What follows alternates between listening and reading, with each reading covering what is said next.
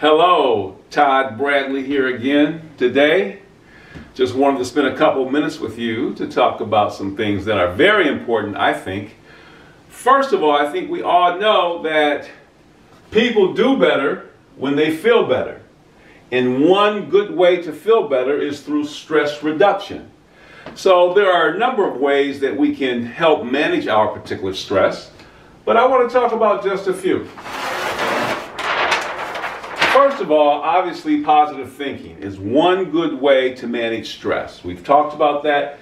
Humor and laughter, not at someone's expense, but a real gut wrenching, impromptu laughter. However, one dynamic way is through movement or exercise.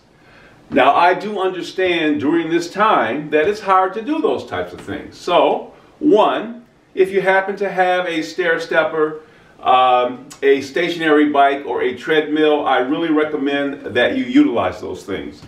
However, what if I don't have those things?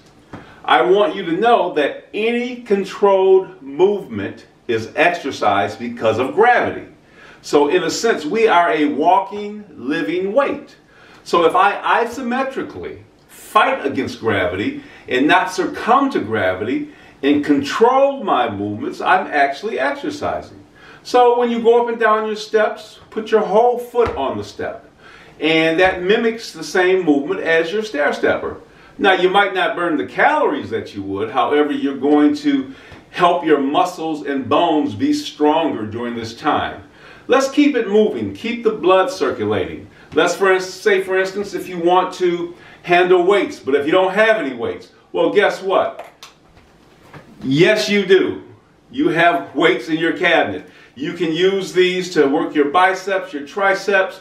Remember, keep your posture erect, fight against gravity, and you'll feel better. And when people feel better, they do better. And also during this time, remember, during this challenging time, if you don't know what to be thankful for, be thankful for all the problems that you haven't had. I'm Todd Bradley. I look forward to seeing you again. Let's keep it moving.